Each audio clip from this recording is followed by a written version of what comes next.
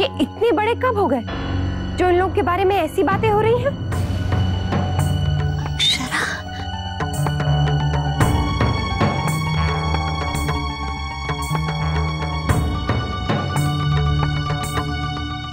बच्चे हैं वो दोनों अभी। ये क्या सोच रहे हैं आप लोग? बच्चे होते तो ये नौबत ही ना आती। बहुत बड़े हो गए वो दोनों अब। लो बताओ नाक्ष। आज पापा जल्दी आ गए तो मम्मी यहाँ पर नहीं। मैंने तो सोचा था कि आप दोनों को बाहर घुमाने के लिए लेकर जाऊँगा, है ना? पहले मैं नक्श को थोड़ी सी आइसक्रीम खिलाऊँगा, फिर मम्मी को आपके लिए कुछ लेना था तो वो भी ले लेंगे।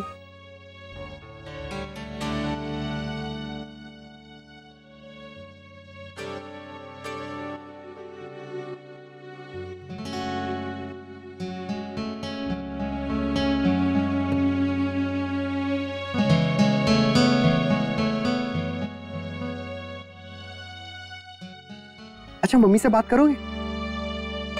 चलो मम्मी से बात करते हैं। लगता है आपकी मम्मी बिज़ी है। फ़ोन नहीं उठा रही। तो अरे Antara?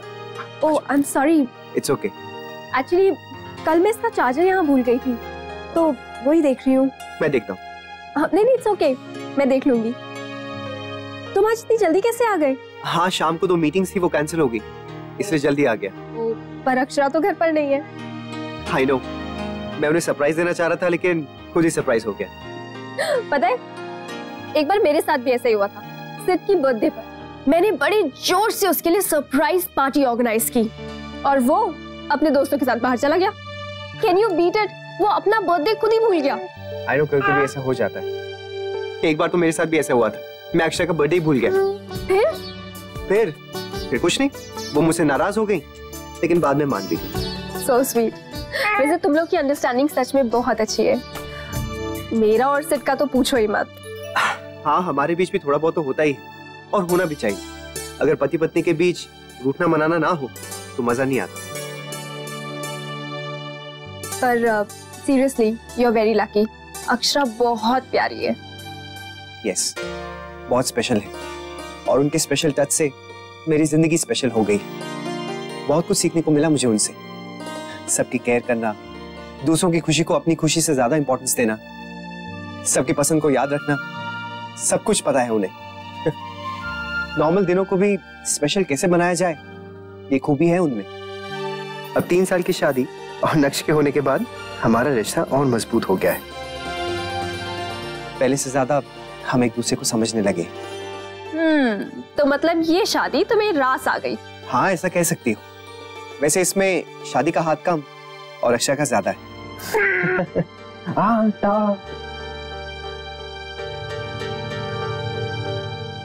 माँ आप चिंता मत कीजिए। देखिए मामी जी अभी परेशान है इसलिए ऐसा कह रही हैं। एक बार थोड़ी शांत हो जाएँगी ना फिर उनसे बात करेंगे। लेकिन उससे पहले आप तो शांत हो जाइए। हाँ माँ जहाँ तक तनु और अंशु की बात है वो तो सवाल ही पैदा नहीं होता। क्योंकि वो दोनों अभी बहुत छोटे हैं। बच्चे बिल्कुल ठीक कह रहे हैं शौर्य की माँ। हम उनसे बाद में बात करेंगे। आप परेशान मत होइए। हाँ बस। क्या हो रहा है यार? किस बात में इतनी हँसी आ रही है? बस ऐसे ही कॉलेज की पुरानी दिन याद कर रहे थे। सच क्या दिन थे ना वो? मैं तो उन दिनों को बहुत मिस करती हूँ रियली अब नैतिक तुम्हें वो कॉफ़ी शॉप याद है? वो गली के पीछे वाली?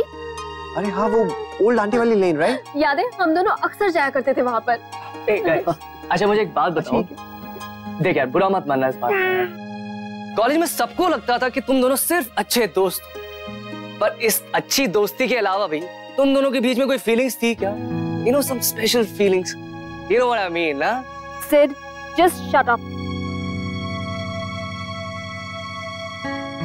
by the way तुम्हारी आउटिंग कैसी थी? आउटिंग वाज फन यार। सुंदर है तेरा शहर यार। वैसे तुम दोनों गए तो साथ में थे लेकिन आए अलग अलग एवरीथिंग ओके okay? मैं तो बहुत घूमना चाहता था यार। पर ये मैडम है ना मुँह फुला के वापस आ गए यहाँ पे। इसलिए मुझे भी आना पड़ा यार। ना मज़ा आ रहा था घूमने में यार। अरे तो प्रॉब्लम क्या थी? तुम घूम लेते ना अकेले। मैं चली गई थी तो, तो तुम और भी ज़्यादा एंजॉय करते। वैसे भी। मेरी कंपनी से तो बहुत तकलीफ़ हो रही थी ना तुम्हें? अब तुम हर दुकान पर शॉपिंग के लिए रुकोगी। एक छोटी सी इयरिंग के लिए पूरी दुकान छानोगी। तो प्रॉब्लम तो होगी ही ना यार। और वैसे भी मेरे पास टाइम भी नहीं है और पेशेंस भी नहीं। हाँ मेरे लिए तो तुम्हारे पास कभी टाइम नहीं होता। बाकी हर चीज़ के लिए टाइम है तुम्हारे पास। ए यार अब इसमें लड़ाई कहाँ से आ गई बीच में? अच्छा बताओ मैंने क्या कहा था तुमसे? यही कहा था ना तुम शॉपिंग कर लो। जब खत्म हो जाए तो मुझे बता देना मैं आ जाऊँगा। मैंने क्या गलत कहा? यू नो सिट प्रॉब्लम यही है। कि तुम्हें पता ही नहीं है कि गलत क्या है। ओह गॉड यार फिर से शुरू हो गई। मैं शुरू नहीं हुई हूँ। यू आर बच्चों की तरह तुम लोग सारा टाइम लड़ते रहते हो यार। And Sid what is this यार? अंतरा थोड़ा सा मेच्योरली बिहेव किया करो ना? अगर ऐसे तुम दोनों लड़ते अच्छा छोड़ ये बता टीवी का रिमोट का मैच शुरू होने वाला है। वहाँ रखा है। ऑन कर ले। मैं नेक्स्ट नीचे माँ के पास छोड़कर आता हूँ। उसे सोने का टाइम हो अरे मैं छोड़ाती हूँ और चाय भी ले आऊँगी। कॉफ़ी यार राइट कॉफ़ी भी।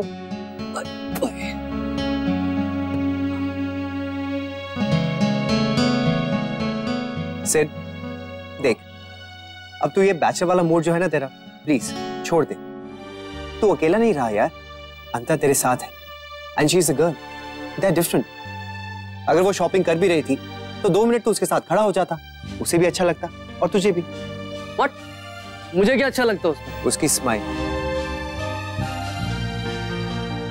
जब हम किसी से प्यार करते हैं ना तो उसके चेहरे पर खुशी देखने के लिए कुछ भी करते हैं। और यार ये तो सिर्फ़ एक इयरिंग की छोटी सी बात थी।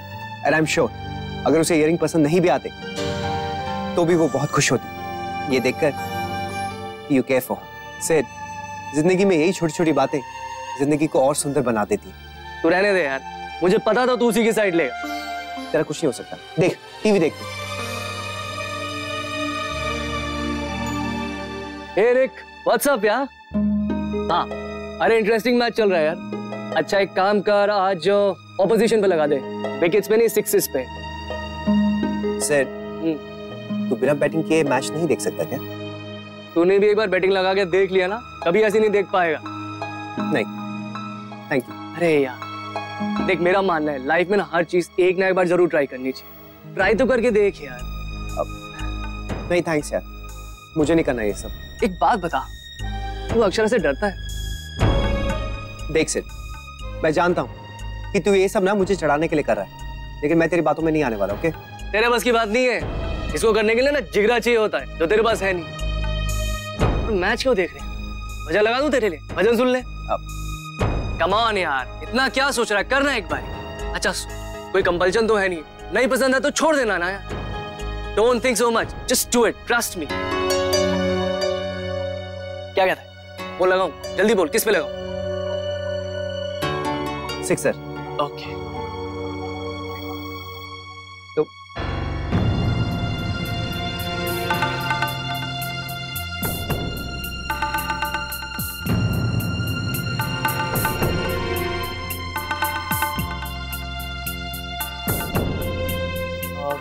हाय अक्षरा सॉरी तुम्हारे रूम में डेरा जमा लिया मैंने। एक काम करता हूँ मैं अपने रूम में जाता हूँ ठीक है? यार।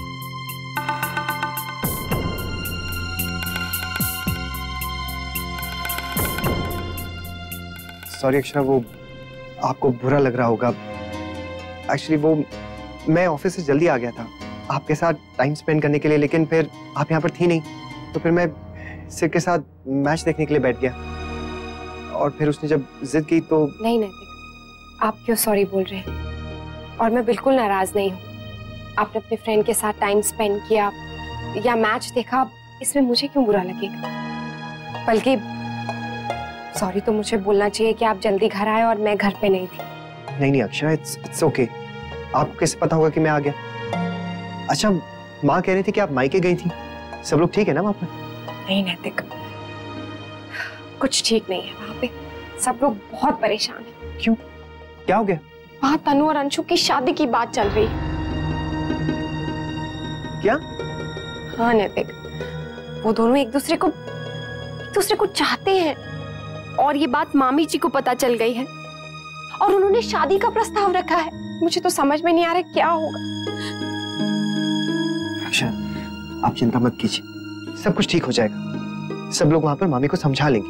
हाँ नैतिक। भगवान करे सब ठीक हो जाए। पर सुमन भाभी ऐसे कैसे बात कर सकती है दीदी? अभी वो दोनों कितने छोटे हैं। ये तो समस्या का कोई हल नहीं हुआ बल्कि ये तो शह देने वाली बात हुई। एक पल के लिए मुझे लगा कि शायद परेशानी में उनके मुँह से ऐसी बात निकल गई। लेकिन वो तो इस बात को पकड़ के ही बैठ गई। अक्षरा ने कितना समझाया उन्हें फिर भी वो समझने को तैयार ही नहीं। आप लोग इतनी चिंता क्यों कर रहे हैं? उन्हें जो ठीक लगा उन्होंने कह दी हमें नहीं लगता तो हम नहीं मानेंगे। एक तो ये अंशु हर दूसरे दिन एक नई मुश्किल खड़ी कर देता है। क्या करूँ इसका कुछ समझ में नहीं आता। एक तो वैसे ही पहले ही इतनी परेशानी। ऊपर से ये। देखो मम्मी ऐसे ही समय में इंसान के धैर्य और हिम्मत की परीक्षा होती है। अगर हम सब धीरज और शांति से काम लेंगे ना तो हर एक समस्या का हल अपने आप निकल आएगा। छोटी तिलक ये कैसा लग रहा है? वाह भाभी माँ ये तो बहुत सुंदर है। पर ये है क्या? मैं कब से देख रही हूँ आप इसे बना रहे हो? कुछ खास नहीं बेटा। बस समय गुजारने के लिए थोड़ा बहुत कर लेती हूँ। मेरा शौक भी पूरा हो जाता है और बच्चों को भी अच्छा लगता है। एक्चुअली मुझे एक आइडिया आया। मुझे भी कुछ बनाना आता है। क्या? एक्चुअली मैं तो नक्श के लिए वहाँ से कुछ भी नहीं ला पाई क्योंकि मुझे इसके बारे में कुछ पता ही नहीं था। पर यहाँ तो कुछ बना ही सकती हूँ। है ना नक्श? ये वहाँ के लोगों की बहुत स्पेशल चीज़ है। क्या बेटा? कुछ खाने की चीज़? नहीं एक्चुअली ये ये बहुत ही स्पेशल चीज़ है। अक्षरा? आपने कभी ड्रीम कैचर्स का नाम सुना है? हिंदी में बोलूँ तो सपनों को पकड़ने वाली चीज़ वो क्या होता है? मतलब कैसे होता है? बहुत ही सुंदर बहुत रंग बिरंगा और बहुत शुभ। आपको पता है अमेरिका में लोग ऐसा मानते हैं कि अगर इसे बच्चों के रूम में लगा दो तो उन्हें बहुत अच्छे अच्छे सपने आते हैं। और बुरे सपनों को तो ये रूम के अंदर भी नहीं आने देता। आई विश आई विश मैं नक्श के लिए वहाँ से ला पाती। पर एनीवेज मैं पूरी कोशिश करूँगी कि मैं यहाँ बना लूँ। अंतरा बेटा हम भी तुम्हारी मदद करेंगे। हाँ? बताओ ना क्या क्या सामान मंगवाना है? हम्म, साफ़ दिख रहा है कि नक्श अपनी दादी और बड़ी दादी का कितना लाडला है। है ना नक्श?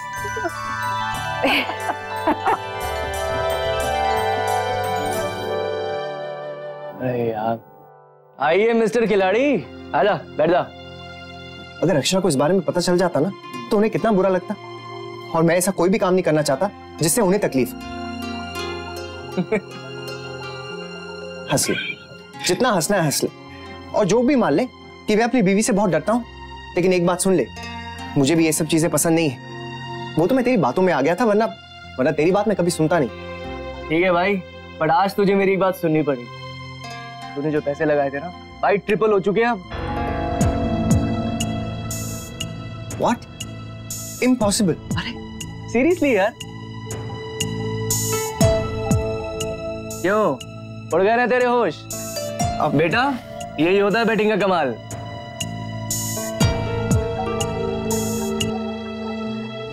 हमने तो नहीं मंगवाया है। कहाँ से आए हैं आप? हैंडीकैप पैराडाइज से। एड्रेस भी यही का है। अब अक्षरा मैंने मंगाया था। मेरे लिए होगा। ओ दे दीजिए। साइन कर दीजिए। थैंक यू अक्षरा, तुम्हारे पास कोई डायरी या नोटपैड होगा? एक्चुअली मेरे फ़ोन का कैलकुलेटर काम नहीं कर रहा है, इसलिए। हाँ तो ठीक है, मैं देखती हूँ। अब, अगर डायरी ना हो तो तो कोई कागज़ भी चलेगा। मुझे तो बस हिसाब लिखना था। नोट नहीं किया तो भूल जाऊँगी, और फिर हमारा झगड़ा हो जाएगा। मेरा और सिट का, जब हम हिसाब करने बैठेंगे तब। एक्चुअली क्या है ना, मैं और सिट घर का सारा खर्चा आधा आधा बांटते हैं, सिवाय अपने पर्सनल एक्सपेंसेस के। अब क्या हुआ? थोड़ा अजीब लग रहा है। हाँ थोड़ा सा। आई नो यहाँ पर तो ऐसा नहीं होता ना।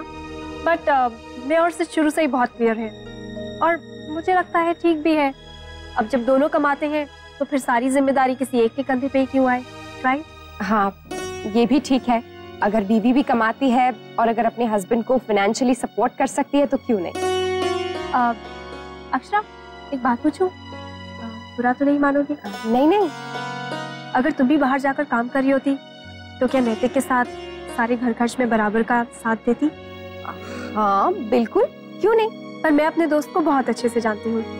पता है अगर तुम कमाती भी होती ना फिर भी नैतिक तुमसे एक पैसा भी नहीं लेता। और जानती हो क्या कहता? कहता अक्षरा जी आप अपने पैसे अपने पास ही रखिए। जैसे दिल हो वैसे खर्च करिएगा। घर का सारा खर्च मैं संभाल लूँगा। बिल्कुल सही पहचाना आपने नैतिक को। सच में मैं बहुत लकी हूँ। अरे ये क्या मंगवाया आपने? दिखाइए तो। हाँ वो आओ दिखाती हूँ। ज्वेलरी बॉक्स है। अरे वाह ये तो बहुत ही सुंदर है। ओह ये तो वैसा वाला है। आपको पता है इसके अंदर एक सीक्रेट कंपार्टमेंट होता है। ये देखिए। इसके अंदर ना आप अपनी सीक्रेट चीज़ें रख सकते हैं। मैं भी अपनी नैतिक की डुगू की जितनी भी प्यारी प्यारी यादें अच्छे अच्छे मोमेंट्स और सीक्रेट चीज़ें हैं ना वो सारी इसमें रखती हूँ। वाओ ये तो बहुत अच्छा है।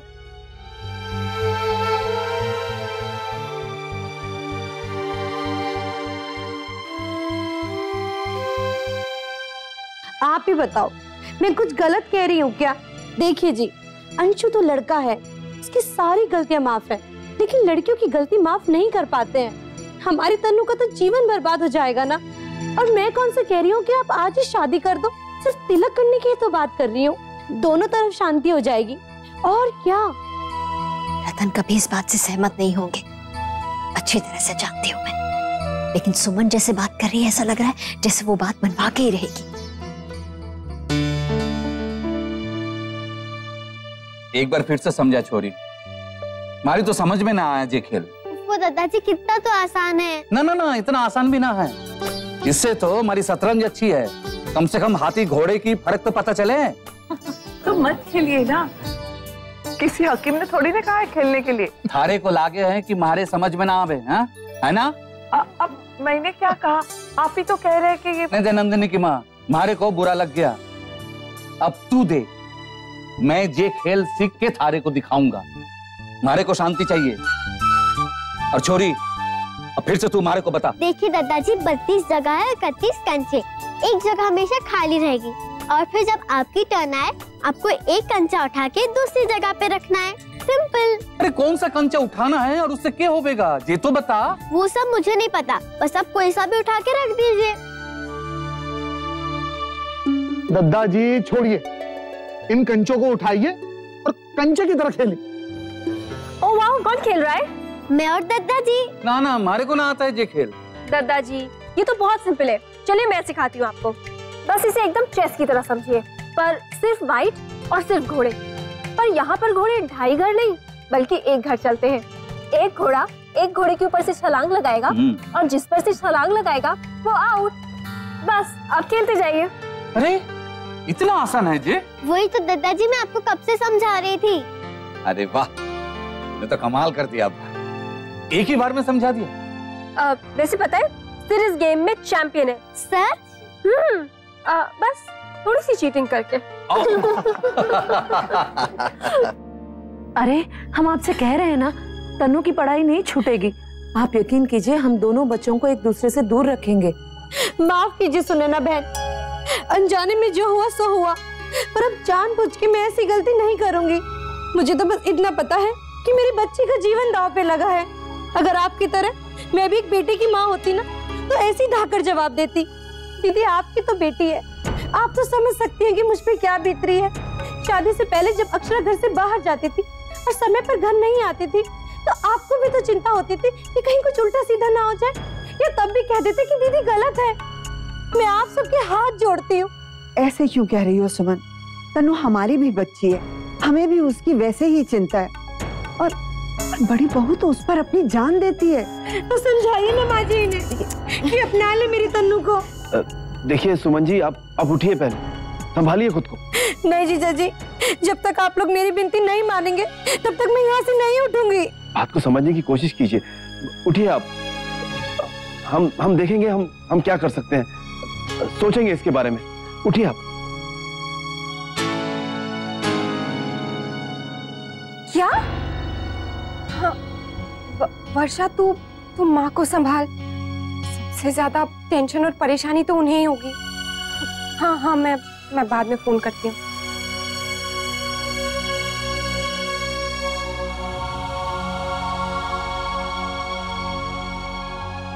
आप वर्षा भाभी को कह रही कि वो माँ को संभाले? और खुद? खुद कितना परेशान हो रही आपको कौन संभालेगा? अरे, मुझे लगा कि आप कहेंगी नैतिक आप है ना? खैर छोड़ी आप कहें ना कहें, लेकिन मैं आपके साथ हूँ। अक्षरा, चिंता मत कीजिए। वहाँ पर बाबूजी हैं, काका हैं, दादू हैं, सब मिलकर सब कुछ संभाल लेंगे। सब पे भरोसा रखिए आप समझ नहीं रहे। वहाँ मामी जी ने जिद पकड़ ली। और हार कर बाबूजी को ये कहना पड़ा है कि वो सोचेंगे इस बारे में। क्या? अब ये तो अजीब सी ज़बरदस्ती हो गई ना।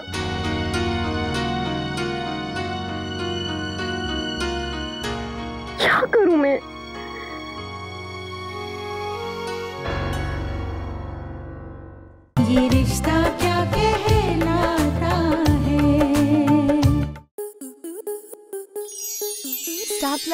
ऐसे ही और बेहतरीन लम्हे देखने के लिए सब्सक्राइब करें हमारे YouTube चैनल को।